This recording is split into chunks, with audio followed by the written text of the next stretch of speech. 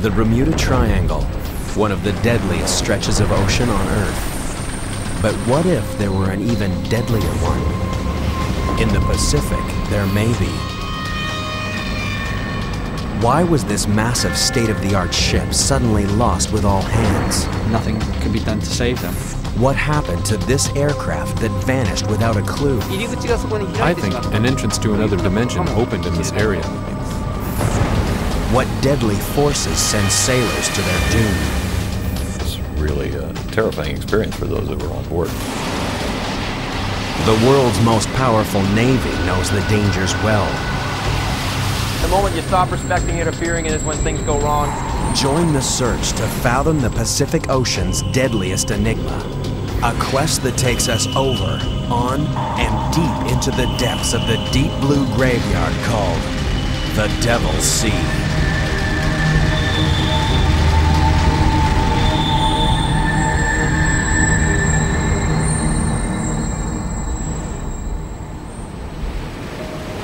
September 8, 1980.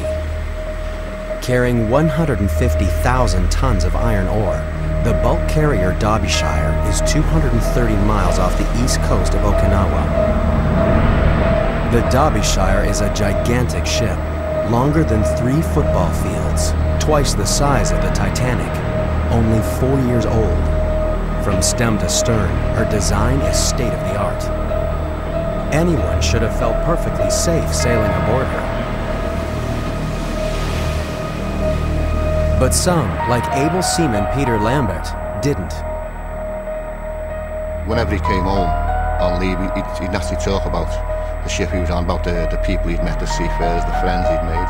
And of course, he wrote letters home. And as I say, he just said he, he just didn't like the Derbyshire, there was just something about it. There's a lot of people said the same thing. Reluctantly, Peter signed on for one more voyage to earn enough money to get married. He was 19 years old. But his wedding would never take place. On September 9th, the Derbyshire and her entire crew disappeared.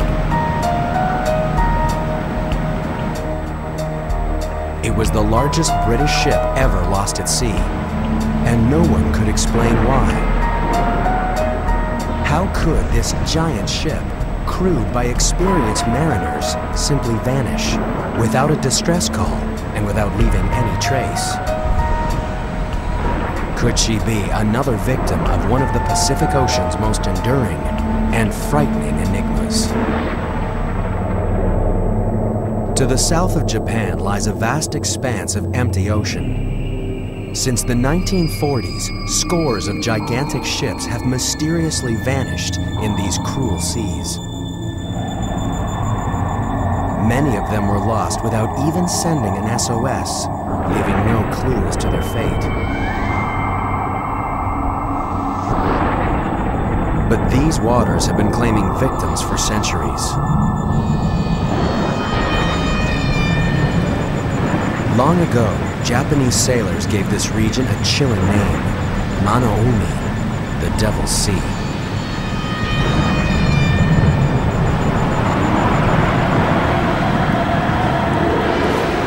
Japanese legends tell of unknown forces that overpower the strongest of ships and great sea monsters that drag sailors to their death.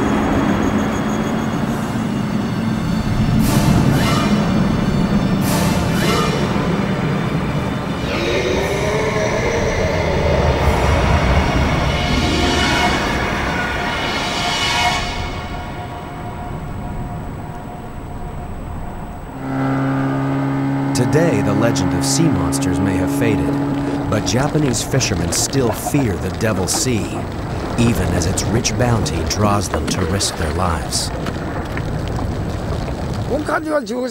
A devil Sea is also an abundant sea. Fish always cluster here. These seas are very different from other places. Waves change quickly and unpredictably. So if you're relaxed on a boat in these places, you will get into trouble. Intrigued by persistent reports of mysterious disappearances, Some have searched for patterns that might solve the enigma of the Devil's Sea. Some claim that when plotted on a map, the modern disappearances form a triangle of doom. But that's only the beginning.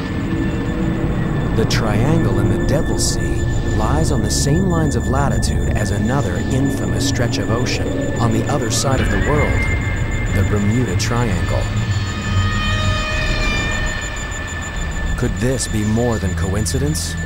Could the Devil's Sea be another Bermuda Triangle? Or even deadlier than the Bermuda Triangle? There are those who think it might be.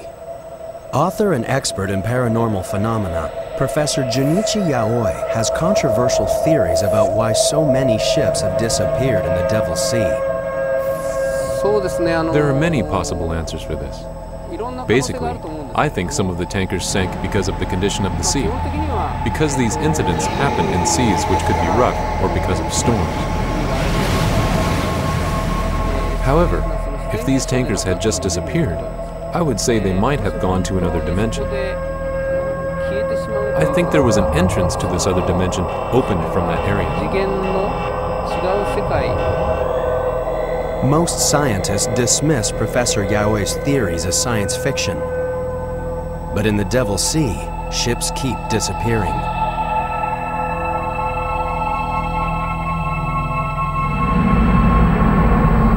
January 2002. The MV Linjie, a Chinese freighter with 19 crew on board, fails to arrive at the Japanese port of Kagoshima.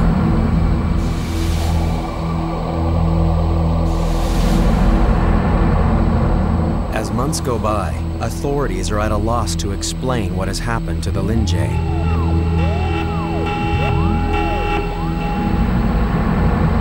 She has disappeared without a distress call and without leaving any signs of her fate.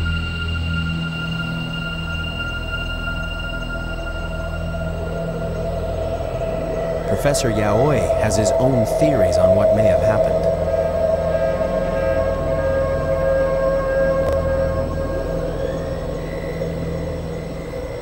Eh, Let me explain it with an easy example. Imagine a radio wave. TV programs, such as a drama, a documentary, and news, are made in a studio. When these programs are broadcast, their mode is changed to a radio wave, which we can't see nor touch.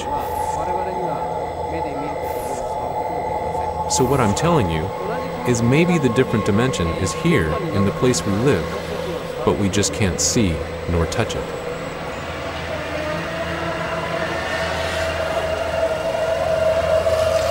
While some find Professor Yaoi's theories a comforting way to explain the unexplainable, maritime experts remain skeptical. I'm a disbeliever, uh, probably a fairly strong disbeliever of anything like that. David Mearns is a shipwreck hunter with an impressive record of locating lost ships and a pragmatic attitude to the paranormal. I'm hired by people to come up with answers in a purely scientific and technical matter. So to, to actually come back and say, well, you know, I, I, I just can't explain it. It must be that Bermuda Triangle thing or the Pacific Triangle. And, you know, I don't think I'd have much credibility any longer. In 1994, David and his team faced one of their biggest challenges to date solve the mystery of the lost ship Derbyshire. It would be a mission that would push even these experts to their very limits. This time they faced a formidable foe, perhaps the toughest ever, the Devil's Sea.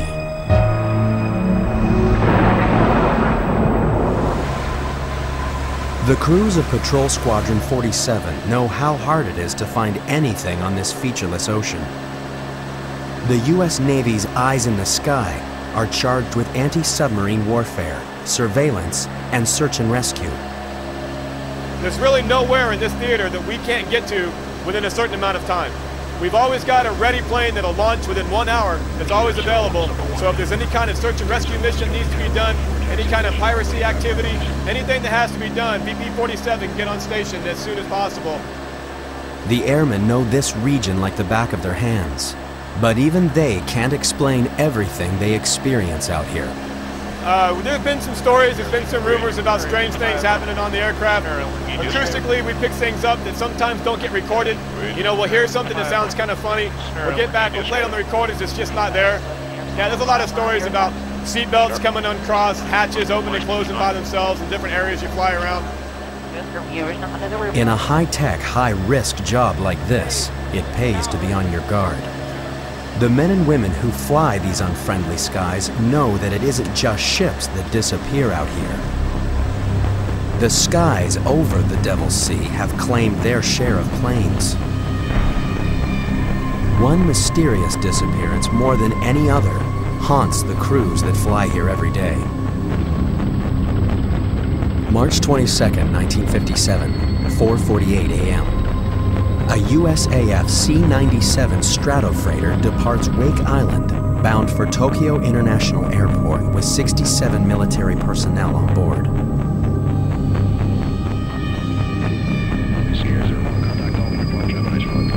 The flight is scheduled to take nine and a half hours, and sufficient fuel for 13 and a half hours is on board.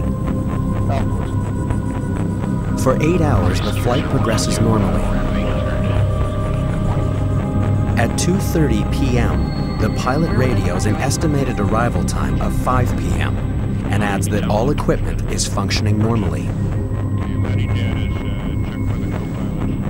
Weather in the region is good. Flying conditions are nearly perfect.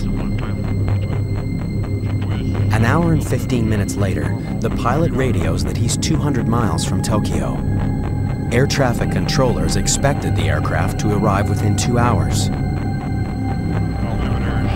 But the C-97 never touches down at the airfield.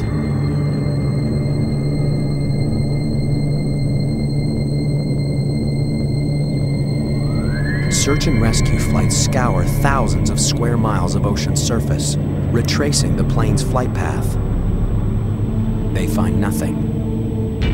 The giant Stratofreighter has vanished into thin air. Something in or over the Devil's Sea was powerful enough to wipe the massive aircraft from existence. What could have happened to this formidable aircraft, built for combat, flying in perfect conditions? To this day, no one knows. It remains a mystery and an unknown hazard that the men and women of the military must accept in the line of duty. Is uh, 1,000 The Devil's Sea hides its secrets well. But daring expeditions and groundbreaking research are beginning to reveal some startling answers to age-old questions. Just like the Bermuda Triangle, nothing is ever as it seems in the Devil's Sea.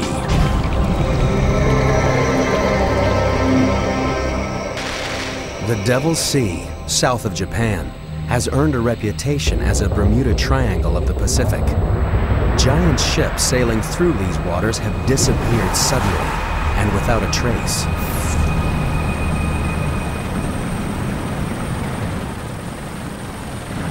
The Japanese Coast Guard report over 2,500 shipping accidents in the waters around Japan every year.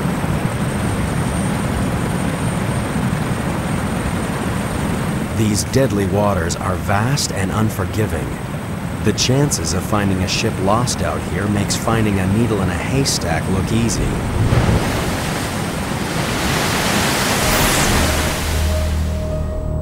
That's why, 14 years after the giant ship Derbyshire was lost without a trace in the Devil's Sea, most believe she would never be found. An official report blamed the forces of nature, case was closed.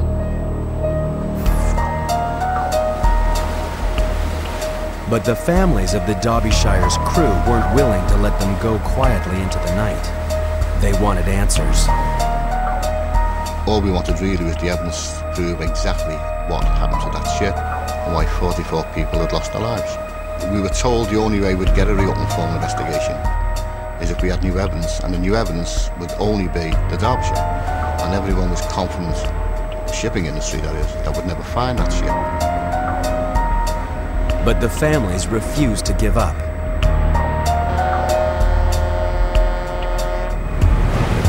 In July 1994, an expedition team led by David Mearns of Oceaneering Technologies headed into the Devil's Sea, convinced that they could crack the case. Their hopes were pinned on one slim lead. At the time that the Derbyshire was lost, search and rescue planes reported an oil slick not far from her last known position. No one else had really used oil as the primary clue to actually go out and find a ship. So there was some uncertainty at the time about, you know, how big the area could be. Is the oil directly above the ship or is the oil being set down current 10 miles, 50 miles, 100 miles? Nobody really knew. But my gut feeling was that it was a, an excellent marker and that that would lead us to the Derbyshire. On this clue alone, David Mearns and his team would try to achieve the impossible find the Derbyshire and lay the mystery to rest. It was one thing to mount a search, but on this vast and violent ocean, the odds of finding Derbyshire were astronomical.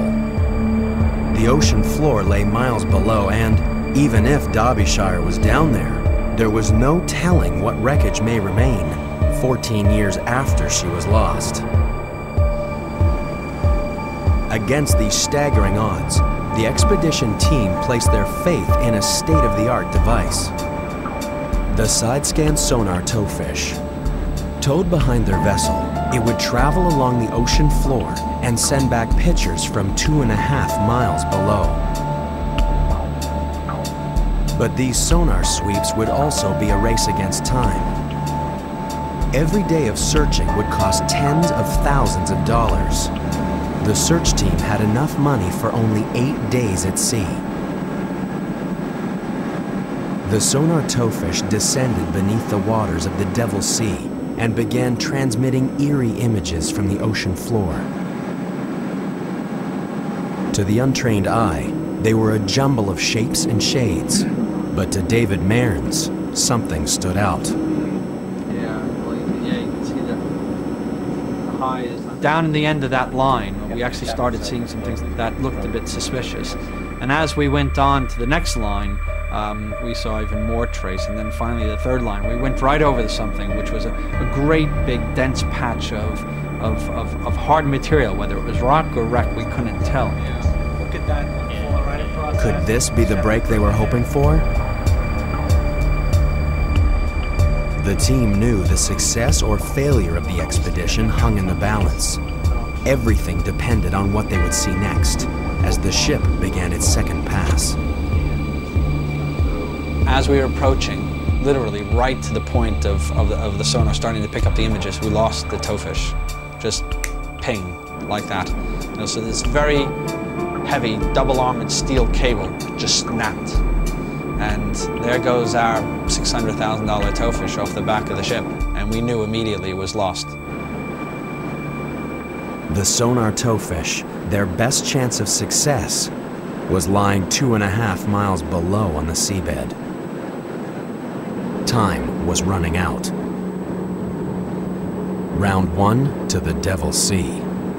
And before a recovery can be attempted, a storm threatens on the horizon, and the must batten down the hatches and brace for impact. They're painfully aware of what the weather can do out here. In living memory, a storm devastated the most powerful navy ever to sail the seas.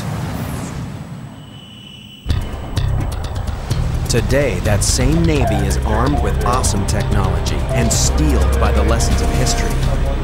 But are these sailors destined to once again face the wrath of the Devil's Sea? For centuries, the Devil's Sea has terrified all who sailed its treacherous waters and taken many of them into its deadly depths.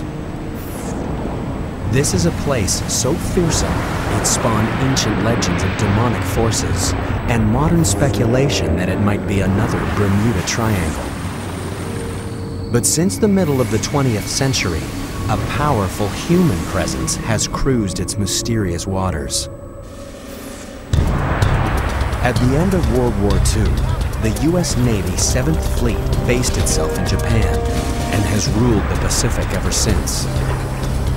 The 7th Fleet sails Japanese waters without fear, at least of any human adversary.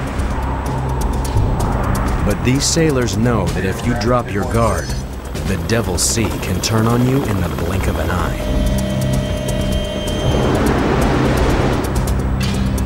A lot of times you have fair winds and following seas. That's as good as you get. You look out here on the horizon and stuff, we got a nice breeze, sun shining. You know, if I wasn't in the Navy, I'd probably be out here getting a tan right now. But we could walk out here four hours from now and bam, just like that. It seems like the devil's beating his wife. So you never know what's going to happen. To survive in the Devil's Sea, you have to know what it's about to throw at you. In this danger zone, the Top Guns aren't fighter pilots, but a handful of meteorologists who scan the sea and sky for any sign of trouble. For these men, failure is not an option. The slightest error could take them into the path of danger, and some of the most murderous weather the planet could generate will slam into their ships. It seems incredible that these powerful warships, built to repel the most daunting foes, could be so vulnerable to the assaults of nature. But the Devil's Sea has already shown what it can do to them. A tragedy that still haunts the Navy. December 1944. World War II rages in the Pacific. The suicide squadrons of the Japanese kamikaze are the most feared enemy in this theater. But the terror they inspire is about to be surpassed.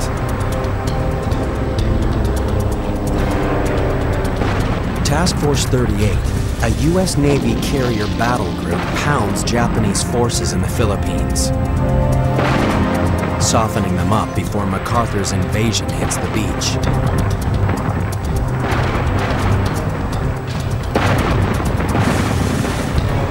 After three days of bombarding the enemy, they must break off the attack and steam into formation to refuel. But just over the horizon, a deadly force is gathering strength. A force far more destructive than anything the Japanese could throw at them. As the ships struggle to refuel in growing seas, they're stalked by the growing fury of a powerful typhoon. There's nowhere to hide as the storm strikes. Suddenly, the sailors of Task Force 38 are thrown into the fight of their lives. The seas uh, were described as mountainous, um, you know, very high seas, and of course the ships were rolling and pitching. Uh, the wind uh, was between 50 and 75 knots with gusts of as much as 120. So the uh, the noise level was was terrific, and of course the, uh, the ships were, were moving from side to side and up and down. It was really a terrifying experience for those that were on board. In fact, uh, there were some sailors who had uh, faced the kamikaze menace and found that the, uh, this, the typhoon was probably the, the worst experience of their, of their lives. For the men of Task Force 38, the next 24 hours were a living hell. Storm force winds and 60 foot waves pounded them, capsizing three destroyers, badly mauling 16 other ships, sweeping more than 200 planes off the carriers, starting raging fires below decks. When it was over, 765 American sailors were dead. It was the U.S. Navy's worst natural disaster of the 20th century. The mighty fleet limped back to port, bearing the scars of battle. The murderous typhoon had caught Task Force 38 by surprise. To prevent a disaster like this from ever happening again, the Navy set up weather forecasting stations throughout the Pacific.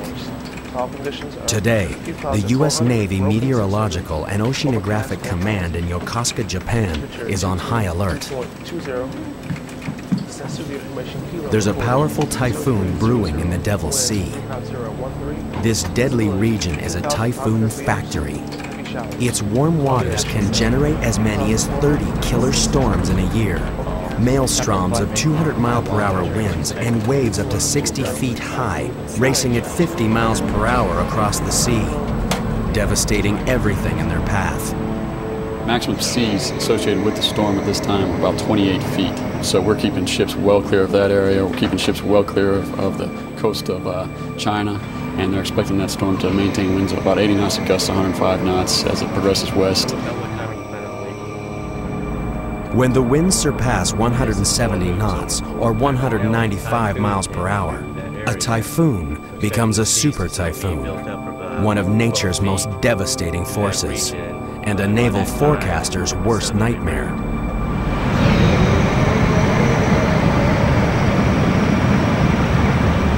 In a super typhoon, you can have seas well in excess of 35 feet, and much larger than you ever want to see a ship encounter very capable of sinking ships, grounding ships, uh, destroying harbor facilities and, and, housing on islands. Uh, just absolutely uh, devastating to anything that they encounter. 170 uh, knots will, will tear down uh, concrete walls and, and uh, permanent structures. A naval weatherman's job is to ensure that when a meteorological monster like this churns across the sea, one thing that it won't encounter is a ship of the U.S. Navy. If they're close enough to land, they can ride out the storm in the relative safety of a harbor. But ships too far from land have no option but to ride out the fury of the storm. Many of the ships lost in the Devil's Sea have disappeared during the worst winter months, when storms are most frequent and deadly. But these are giant ships, built to withstand the worst conditions. A typhoon alone shouldn't sink them. When the giant bulk carrier MV Derbyshire sailed into the Devil's Sea, it was September 1980, the heart of the annual typhoon season. At 10:19 a.m. on September 9th, the captain reported that Derbyshire was battling 70 mile per hour winds and 30 foot waves.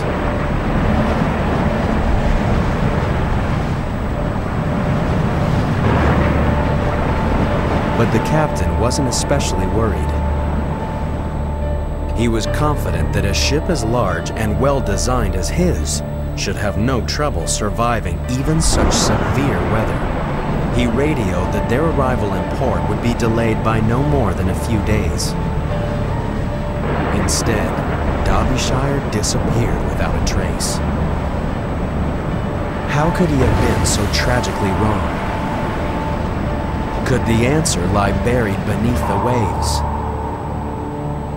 Violent forces lurk down here.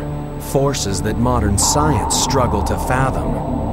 Forces that may hold answers to the mysteries of the Devil's Sea.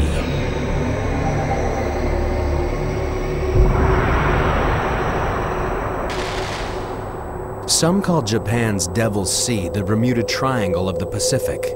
Ships and airplanes vanish here without a trace. Could the answers to the mysteries lie here, far beneath the stormy surface? Down here lurk powerful, deadly forces.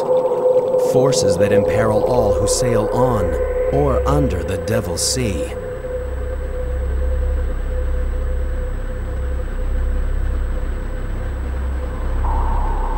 The Devil's Sea has been a watery grave for submariners. It took an especially heavy toll on the submarine fleets of World War II. One in five U.S. Navy submarines never returned from the sea, and nearly half of the 52 U.S. submarines lost during World War II met uncertain fates. Today, researchers are uncovering the deepest secrets of the Devil's Sea. The Japanese Marine Science and Technology Center regularly send craft into these dark depths.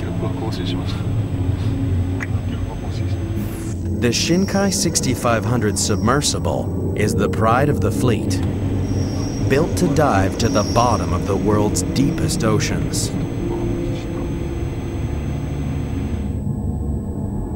Marine scientists spend long hours in the inky depths, opening up an unseen world on a scale that is scarcely believable.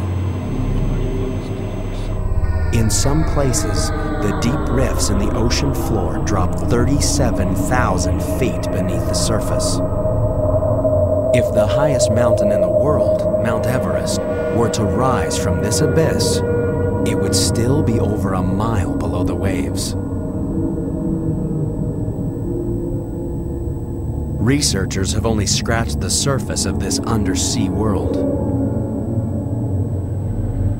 Could this be the final resting place of the World War II submarines lost to unknown causes? There is no telling what these shadowy depths could hide. Some have even suggested that there is an alien life force lurking beneath the Devil's Sea. One account from a Russian research scientist was widely reported in the paranormal press. On August 18, 1980, the Soviet vessel Vladimir Vobirov was returning from a research mission off the coast of Japan. Expedition leader Professor Platonov claimed he was on watch when suddenly an unidentified submerged object burst from the sea and circled the ship. According to the professor, it was cylindrical in shape and scorched the area with a blinding blue light.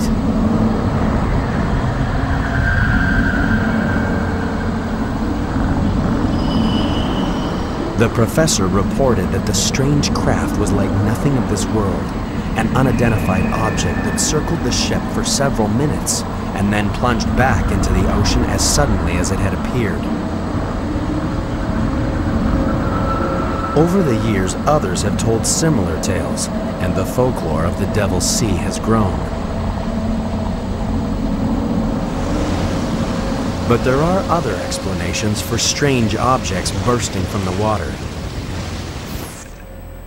Japanese scientists dismissed the notion of an undersea alien life force. To be honest, almost all phenomena are explainable through our knowledge, and I have never seen such a strange phenomenon. So what power of nature could send objects shooting to the surface miles above? One answer can be found at the western depths of the Devil's Sea, where the Earth's molten core threatens to break through the fragile crust.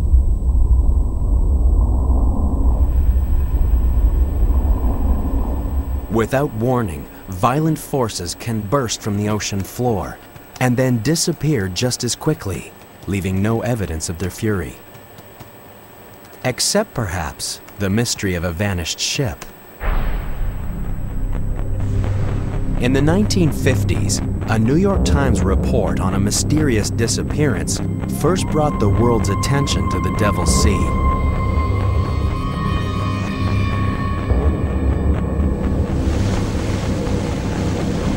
September 23, 1952, the Kaiyo Maru 5, a Japanese Coast Guard research vessel with 31 crew aboard, heads for the Myojin Reef in the Devil Sea to monitor strange underwater activity. Making good speed, the crew expects to reach the reef in less than a day. But after three days of radio silence, the Coast Guard declares the vessel missing.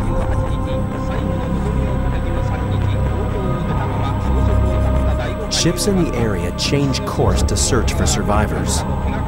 None of the Kaiyo Maru's crew is found. The mystery deepens until, by chance, the searchers witness a violent natural phenomenon.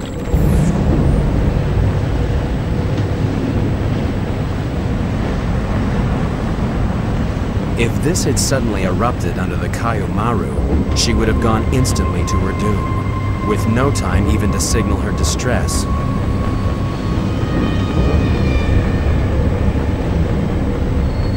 Searchers found a few scraps of wreckage, but none of them bore a ship's name, and there were no survivors to tell their tale. The fate of the Kaiyo Maru would remain a secret of the Devil's Sea.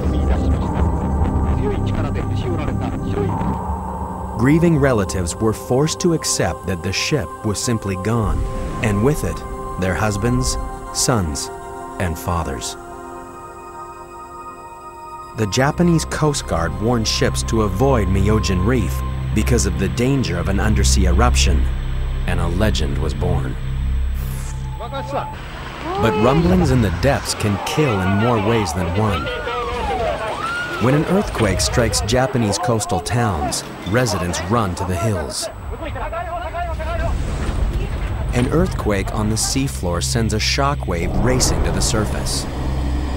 A bulge of water is displaced and moves swiftly through the ocean.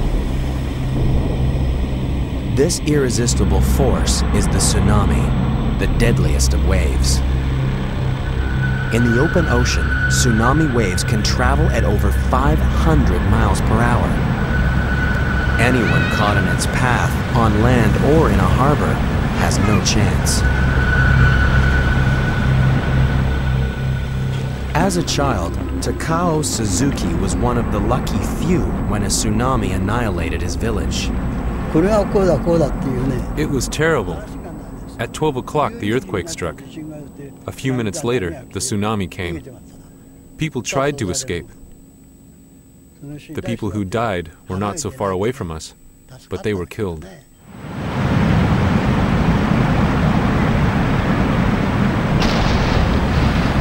Throughout history, tsunamis have taken the lives of hundreds of thousands of people. Today, tsunamis still wreak havoc along the coast of Japan. And all too often, people don't realize the threat they pose until it's too late.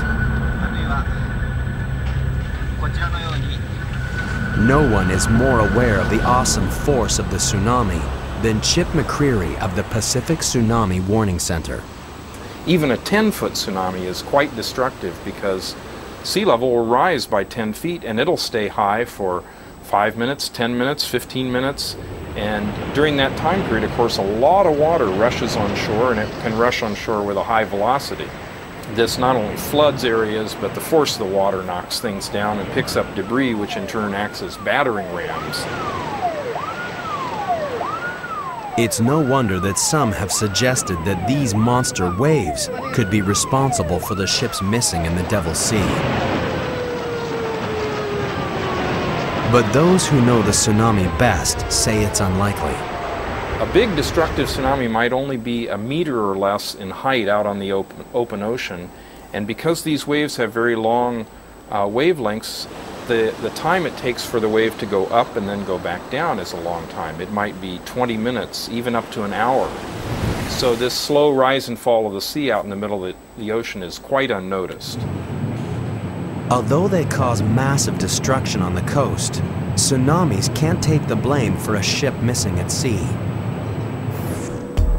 Far out to sea, time was running out on the expedition searching for the lost ship Derbyshire. There had been a promising sonar scan of the seafloor where the ship was reported missing. But before they could make a positive identification, the sonar towfish had been lost, claimed by the Devil Sea. Now the storm relented and the mission could go ahead. They would attempt to recover the towfish and identify the target. But would they be prepared for what they'd find two and a half miles below?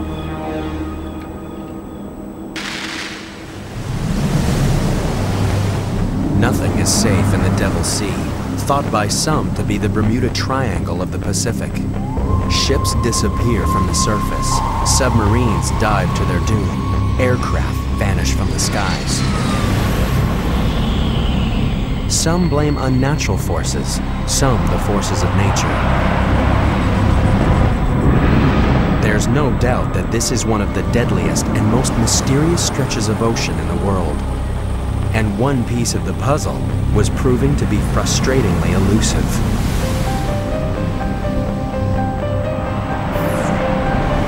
the Devil's Sea had foiled one attempt to solve the mystery of the lost ship Derbyshire. The expedition team had lost their sonar towfish just as it was beginning to transmit images of a suspicious formation on the ocean floor. Now they would launch a rescue mission. A desperate attempt to recover the towfish and identify the target below. The team readied their remote operated vehicle, or ROVE. This mission would push it to its limits. Would the rove's titanium frame withstand the crushing pressures that it would encounter as it descended? A few slender cables were all that kept this high-tech submersible tethered to the ship. If anything went wrong two and a half miles down, there was nothing anyone on the surface could do. So the tension was incredibly high. You've got a very expensive piece of equipment sitting on the seabed, and there's a wreck down on the seabed that you know it's the wreck you want, but without that picture proving it, no one will believe you. So if you had come back, you know, without being able to do that, you'd have failure on every single front. We recovered our towfish, which was a, technically a very difficult thing to do, picking up this one ton probe and bringing it onto the deck. And then we had to dive on the target, and we had about six hours of time left before we actually had to leave. The anxiety on board grew as never before seen images appeared out of the gloom. The Rove picked up a trail of glittering iron ore, the cargo the Derbyshire was carrying when it disappeared.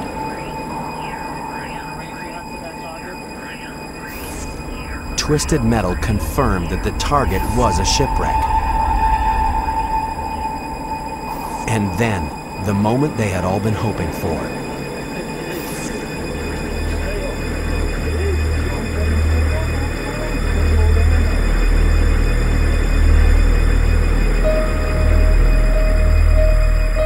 At last that the mighty ship had not simply disappeared, that behind this mystery at least, there lay an answer.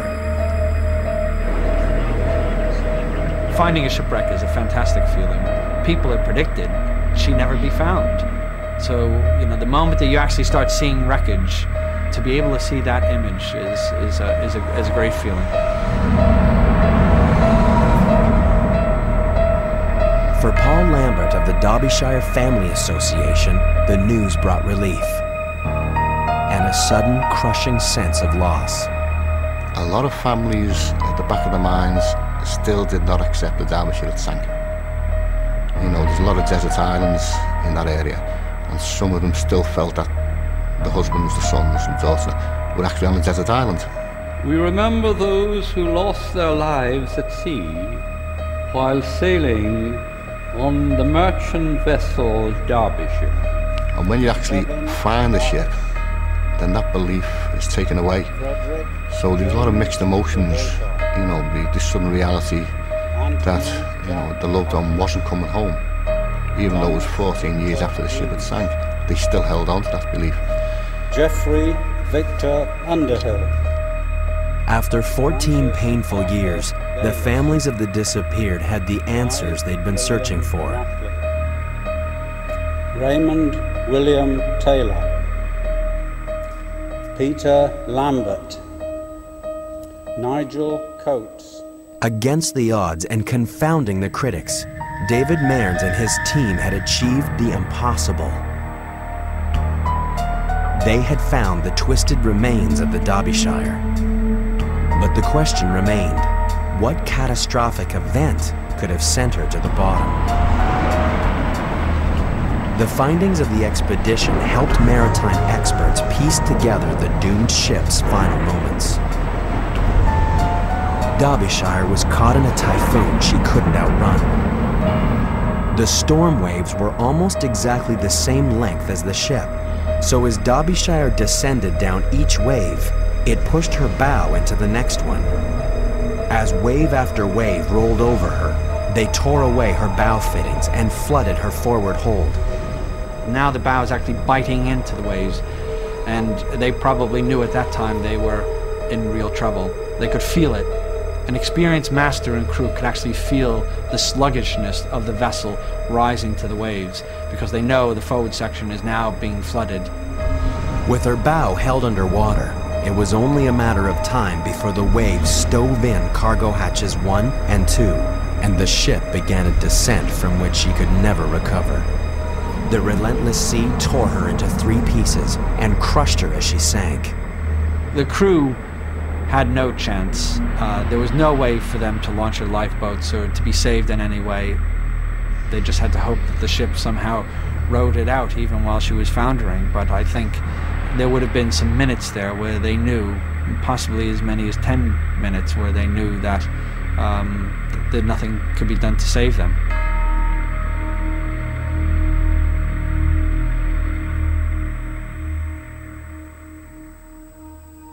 The last act of the expedition was to gently place a memorial plaque on the Derbyshire's foredeck, inscribed with a prayer for her lost souls. Tragically, the Derbyshire wasn't the only ship lost in this way. Just a few years after Derbyshire was lost, her two sister ships were also torn apart by storms they ought to have survived because of the same design faults. The Derbyshire tragedy led to improved safety features that are now standard on new ships. But many older ships suffer the very same flaws that led to Derbyshire's demise. For Paul Lambert, the fight is far from over. The mystery of the Derbyshire may be solved, but he won't rest until every ship is made safe. I don't want my brother, Peter, and the other, know, the other 43 people lives who have been lost for nothing. And the only way we can do that is to get the recommendations implemented. I want people to remember Derbyshire for the lives she's going to save.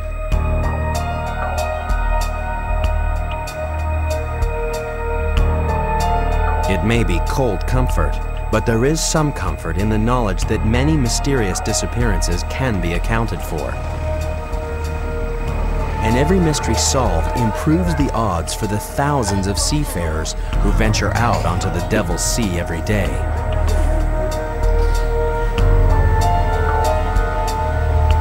Maritime experts are confident that, eventually, even the most perplexing mysteries will give up their secrets. When you're at sea on a ship and you're in you're out there and there's nothing else there's you and your crew and your vessel you know things happen. Nobody knows you know? And derbyshire was one of those ships where if we hadn't found it nobody would ever know. And if you wanted to think she was overcome by the forces of some unexplained phenomenon people could have believed that as well. But we've proved that that was incorrect. Now we know why she sank. So that's what gives me the confidence that these things are explainable at least in the case of Derbyshire, it is. But for some, the enigma will always remain.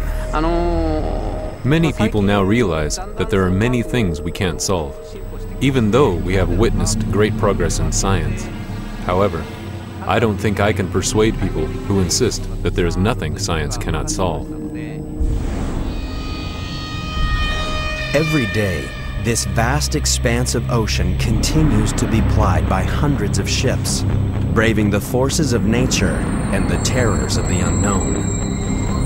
As the Devil Sea casts a shroud over its mysteries, the sailors can only pray that they won't fall victim to the Pacific Ocean's deadliest waters.